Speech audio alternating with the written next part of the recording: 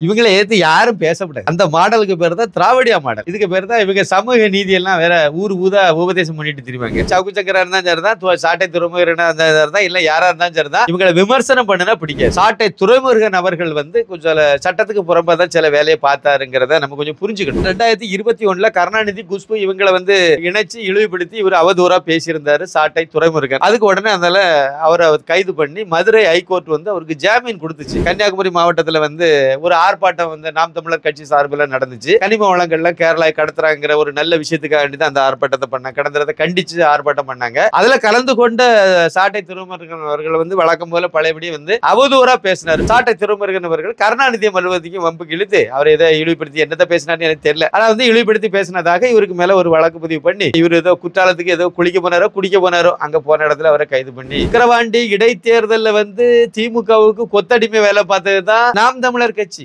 சீமான் வந்து திமுக கிட்ட பணத்தை வாங்கிட்டு அவங்களுக்காக திமுகவுக்கு எதிரான ஓட்டை பிரிக்கிற வேலையில தான் பண்ணியிருந்தாரு. நீங்களே காசை கொடுத்து நீங்களே ஓட்டை பிரின்னு சொல்லி சீமான்ட்ட சொல்லி அந்த குடிகாரனா அதுக்கு தக்கவாறு இல்ல எதுக்குங்க விக்கிரவாண்டி இடைத்தேர்தலில் இவரு போட்டியிடணும் சொல்லுங்க. ரெண்டு கட்சி நிக்குது. திமுக வீழ்த்ததுக்கு இது ஒரு நல்ல சந்தர்ப்பம் தானே. அந்த திமுகவுக்கு எதிரான ஓட்டுல கொஞ்சம் ஓட்டையாவது நம்ம வாங்கினா அந்த ஓட்டு வந்து திமுகவுக்கு கை கொடுக்குங்கிறது இவருக்கு தெரியாது? அப்ப அவர் நிக்காம இருந்தா அந்த ஓட்டு பாமக தானே வரும். திமுகவுக்கு எதிரான ஓட்டு பாமக தான் வரும். அப்ப அதை கெடுக்கணும்னு சொல்லி அதுக்காக வேண்டிய நிப்பாட்டப்பட்டது. இந்த ஓங்கோல் குடும்பத்தினுடைய உத்தரவை தான் இவர் செய்யறாருன்னு சொன்னா சரியா இருக்குமா? சாட்டை துறைமுருகனை பொறுத்த வரைக்கும் அது சட்ட ரீதியாக அவருக்கு ஏற்கனவே ஒரு கண்டிஷன் கொடுத்திருக்கு கோர்ட் அதை மீறி இவர் அவதூறா பேசினாரு. அதனால கைது பண்ணுன்னு கணக்கு சொல்லலாம். ஆனா சிவாஜி கிருஷ்ணமூர்த்தின்னு ஒரு பரதேசி கிடக்குல அது வந்து யாரையுமே இழிவுபடுத்தி பேசலையா? அவரை ஏன் கைது பண்ணல?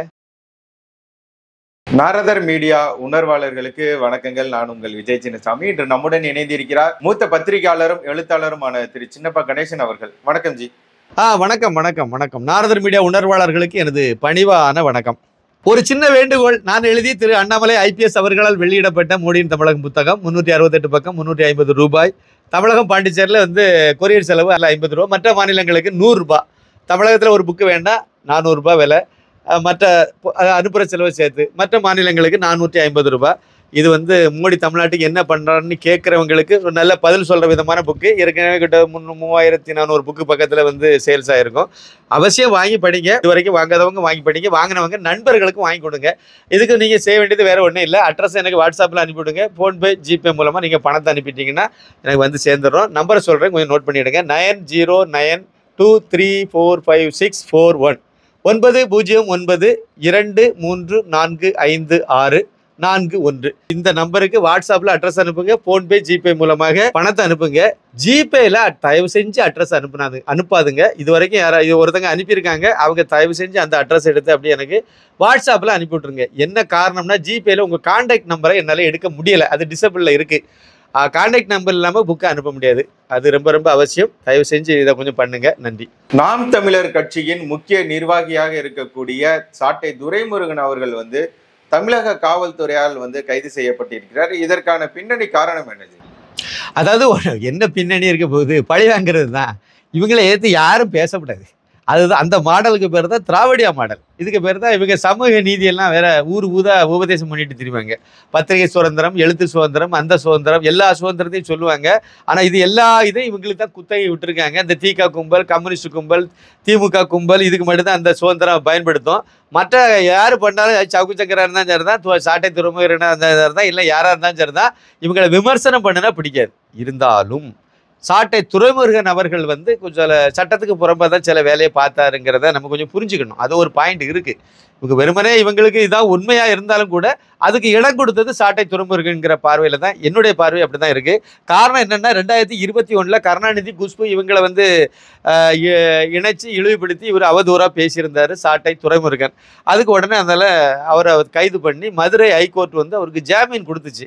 கொடுக்கும்போது ஒரு கண்டிஷன் அதில் போட்டு விட்டாங்க. என்ன அப்படின்னா மறுபடியும் நீ இதை மாதிரி யாரையும் அவதூறு பண்ணி பேசக்கூடாது. அரசியல் பேசுங்க கருத்து சொல்லுங்க அதெல்லாம் பண்ணுங்க. அவதூறாக பேச வேண்டாம் பேசக்கூடாதுன்னு சொல்லி ஒரு நிபந்தனையோட அந்த ஜாமீன் அவங்க கொடுத்தாங்க.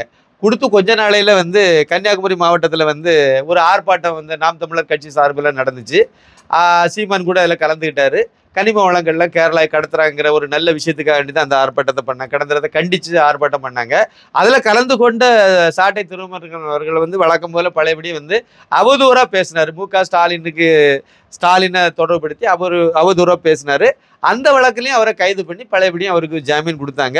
இந்த சூழ்நிலையில் இப்போ விக்கிரவாண்டி இடைத்தேர்தலில் இறுதிக்கட்ட பே பிரச்சாரம்ங்கிற பேரில் அங்கே போய் இருந்து இதை பண்ணும்போது வந்து சாட்டை திருமுருகன் அவர்கள் கருணாநிதி மறுபடியும் வம்புக்கு இழுத்து அவரை இதை இழிவுபடுத்தி என்னத்தை பேசினார்னு எனக்கு தெரியல. நான் அந்த வீடியோ பார்க்குறது இல்லை பார்க்கல ஆனால் வந்து இழிவுபடுத்தி பேசினதாக இவருக்கு மேலே ஒரு வழக்கு பதிவு பண்ணி திருச்சி சைபர் கிரைம்லேருந்து வழக்கு பதிவு பண்ணி இவர் ஏதோ குற்றாலத்துக்கு ஏதோ குளிக்க போனாரோ குடிக்க போனாரோ அங்கே போன இடத்துல அவரை கைது பண்ணி காலையிலே பண்ணிட்டாங்கன்னு சொல்லி ஒரு பெரிய செய்தி. இதை நிறைய பேர் ஒப்பாரி வச்சுட்டு இருக்காங்க ஆனால் உண்மையிலே வந்து அந்த விக்கிரவாண்டி இடைத்தேர்தலில் வந்து திமுகவுக்கு கொத்தடிமை வேலை பார்த்தது தான் நாம் தமிழர் கட்சி. சீமான் வந்து திமுக கிட்ட பணத்தை வாங்கிட்டு அவங்களுக்காக திமுகவுக்கு எதிரான ஓட்டை பிரிக்கிற வேலையில் தான் பண்ணியிருந்தார். அப்படி இருந்த பிறகும் சாட்டை துறைமுறைகள் எதுக்கு கைது பண்ணாங்கன்னுங்கிறது எனக்கு தெரியல. கரெக்டாக தேர்தல் நேற்றுக்கு தேர்தல் முடியது வரைக்கும் காத்திருந்துட்டு வாக்குப்பதிவு முடிஞ்ச உடனே லபக்குன்னு காலையில் இன்னைக்கு அள்ளி கொண்டு போயிருக்காங்க. இது வேற எதுவும் காரணம் இருக்கான்னு எனக்கு தெரியல. பழி வாங்குறாங்கங்கிறது நல்லா தெரியுது. நீங்களே காசை கொடுத்து நீங்களே ஓட்டை பிரின்னு சொல்லி சீமான்ட்ட சொல்லி அந்த குடிகாரனா அதுக்கு தக்கவாறு இல்லை. எதுக்குங்க விக்கிரவாண்டி இடைத்தேர்தலில் இவர் போட்டியிடணும் சொல்லுங்கள் விக்கிரவாண்டி இடைத்தேர்தலில் வந்து திமுகவும் அண்ணா திமுகவும் பாமகவும் அப்புறம் வந்து தேமுதிக இப்படி பல கட்சிகள் நிற்குது அதனால் நான் தமிழர் நாங்களும் நிற்கிறோன்னு சொன்னீங்கன்னா ஒரு லாஜிக் இருக்குது ஆனால் இங்கே அப்படி இல்லை. அதை திமுக அண்ணா திமுக வாபஸ் வாங்கிட்டாங்க. அதை நிற்கவே இல்லை புறக்கணிச்சிட்டாங்க. தேமுதிக புறக்கணிச்சிட்டு களத்தில் நின்று பாமகவும் இந்த பக்கம் திமுகவை வைத்து பாமக பாஜக அணில நிற்கிறாங்க ரெண்டு கட்சி நிற்கிது திமுக வீழ்த்ததுக்கு இது ஒரு நல்ல சந்தர்ப்பம் தானே. அருமையான சந்தர்ப்பம். இது மாதிரி ஒரு சந்தர்ப்பம் கிடைக்குமா? கிடைக்காது. அப்போ திமுக அது என்ன அந்த ஏரியா வந்து வன்னியர் அதிகமாக உள்ள வன்னியர் சமுதாய மக்கள் அதிகமான ஏரியா அது. அந்த ப சட்டமன்ற தொகுதி.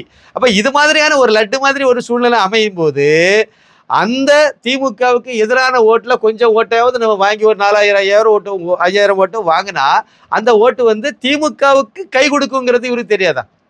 திமுக சாதகமாக அமையும்னு தெரியாதா? இவர் அதில் நின்று கண்டிப்பாக வெற்றி பெற போகிறதுலன்னு உலகத்துக்கே தெரியும். அப்போ அதில் ஓட்டு தான் கொஞ்சம் வாங்க முடியும்னு தெரியும். அது ரெண்டாயிரம் ஓட்டு வாங்கினாலும் அந்த ரெண்டாயிரம் ஓட்டு திமுகவுக்கு நல்வழி செய்யக்கூடிய ஒரு ஓட்டாக தான் அமையுங்கிறது அவருக்கு தெரிய தானே செய்யும். அப்போ அவர் நிற்காம இருந்தால் அந்த ஓட்டு பாமக தானே வரும். திமுகவுக்கு எதிரான ஓட்டு பாமக தான் வரும். அப்போ அதை கெடுக்கணும்னு சொல்லி அதுக்காக வேண்டிய நிப்பாட்டப்பட்டவர். எத்தனாயிரம் ஓட்டு வாங்குறாருங்கிறது இந்த ஓட்டு எண்ணிக்கையில் தெரிஞ்சிட போகுது அந்த நோக்கத்தில் தான் நின்னாரு. அப்படிதான் நிற்க வச்சாங்க. நின்னார் என்ன? இவரை நிற்க வச்சு இவர் நின்னார். நின்றுட்டு இவருக்கு கொடுத்த காசுக்கு கூவிட்டு தெரிஞ்சார். இதுதான் ஒரிஜினல் உண்மை. ஆனாலும் கூட அந்த கட்சியை சார்ந்த ஒரு ரெண்டாம் கட்ட தலைவரை கைது பண்ணுறாங்க அப்படின்னா எனக்கு புரியலை. உங்களுக்கு தான் அவர் கொத்தடிமை வேலையை பார்த்தாரு. உங்களுக்கு அப்படி தான் அங்கே இடத்து திமுக கூட சன் திமுக கூட திமுக தொண்டர்கள் கூட பா அது இது நாம் தமிழர் தொண்டர்கள்லாம் சண்டை போட்டாங்க. அப்போ தானே மக்கள் நம்புவாங்க லோக்கலில். நீங்கள் நாங்கள் வந்து இப்படி அவங்க திமுக வந்து அந்த ஓங்கோல் குடும்பங்களுடைய உத்தரவை தான் இவர் செய்கிறாருன்னு சொன்னால் சரியாக இருக்குமா? அதை வந்து நம்ப மக்கள் நம்பணுமே. அப்போ நம்பணும்னா என்ன இந்த மாதிரிப்பட்ட பித்தலாட்டத்தில் நம்பணும்னா லோக்கலில் நாங்கள் பயங்கர விகரசா தொண்டர்கள்லாம் அடிச்சுக்கிற மாதிரி எல்லாம் வீடியோவை போட்டு வெளியே அனுப்புனாங்க. பயங்கரமாக எழுத்து பிரச்சாரம் பண்ணுற மாதிரி காட்டிக்கிட்டாங்க. எல்லாம் காட்டிக்கிட்டு கடைசியில் வந்து எலெக்ஷன் முடிஞ்ச உடனே இவங்க அவங்கள கைது பண்ணுறாங்க எனக்கு தெரியல. ஆனால் திமுக அரசாங்கம் வந்து இவருக்கு மேலே இவர் சாட்டை துறைமுருகனை பொறுத்த வரைக்கும் அது சட்ட ரீதியாக அவருக்கு ஏற்கனவே ஒரு கண்டிஷன் கொடுத்துருக்கு கோர்ட்டு அதை மீறி இவர் அவதூறாக பேசினார். அதனால் கைது பண்ணுன்னு கணக்கு சொல்லலாம். ஆனால் சிவாஜி கிருஷ்ணமூர்த்தின்னு ஒரு பரதேசி கிடக்குல அது வந்து அவ யாரையுமே இழிவுபடுத்தி பேசலையா? அவரை ஏன் கைது பண்ணல? சட்டம்னா எல்லாத்துக்கும் பொது தானே. அவருக்கும் கண்டிஷன்லாம் கொடுத்துருக்க தானே செய்கிறாங்க இந்த மாதிரி நீ அவதூறு பண்ணி பேச அவதூறாக யாரையும் பேசக்கூடாதுன்னு சொல்லி தானே கொடுத்துருக்காங்க. ஜாமீனில் விட்டுருக்காங்க. அப்போ அவருக்கு மட்டும் ஏன் கைது பண்ணாமல் வச்சுருக்கீங்க? அப்படின்னா உங்கள் நோக்கம் வந்து அவதூறாக பேசுகிற அத்தனை பேரையும் கைது பண்ணணுங்கிறது நோக்கம் இல்லை. உங்களுக்கு யாரை பழிவாங்கன்னு தோணுதோ அவங்களுக்கு வந்து ஏதோ ஒரு காரணம் கிடைக்கணும். அதுக்கு இது ஒரு காரணமாக எடுத்துட்டு திமுக அரசாங்கம் பண்ணுதுங்கிறது தான் உண்மை. அது அதை மட்டும் தான் உண்மை. சவுக்கு சங்கர் அதே கதை தான். இன்னும் யாரையாவது கைது பண்ணிட்டு இருந்தாலும் அதே கதை தான். அவங்க செய்கிறது அவங்க அந்த ஸ்டாண்டில் தெளிவாக இருக்காங்க. இவங்களுக்கு வந்து யாரையாவது பழி வாங்கணும் அப்படின்னு நினைச்சாங்கன்னா அதுக்கு ஒரு காரணம் தேவை. அந்த காரணத்தை ஏதோ ஒரு காரணத்தை இவங்களே கண்டுபிடிச்சிருவாங்க. இல்லைன்னா இந்த மாதிரி எடுத்துக்குவாங்க அதில் கைது பண்ணிடுவாங்க அப்புறம் உள்ளே போயிட்டு வந்துட்டு மறுபடியும் அவங்க வெளியே வருவாங்க மறுபடியும் பேசுவாங்க மறுபடியும் கைது பண்ணுவாங்க மறுபடியும் உள்ள போடு இதான் நடக்க போகுது இந்த திராவிடியா மாடல் அரசாங்கத்தில் வேற பொதுசா பெரு பெருசாலாம் ஒன்று நம்ம எதிர்பார்க்க முடியாது. பழி வாங்கும் நடவடிக்கை அப்படின்னு நம்ம மொத்த மொத்தமாக எடுத்தால் சரியா இருக்கும். உங்களுடைய பொன்னான நேரத்தை ஒதுக்கி பல உண்மை தகவல்களை நாரதன் மீடியாவுடன் பகிர்ந்து கொண்டதற்கு மிக்க நன்றி மிக்க நன்றி நன்றி வணக்கம்.